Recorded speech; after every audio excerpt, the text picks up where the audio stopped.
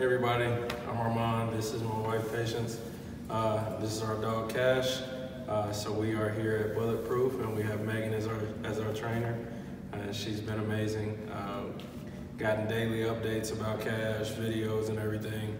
Um, we came here today uh, for our pickup, and it's been amazing to see the transformation that Kash has has made and how obedient she is now.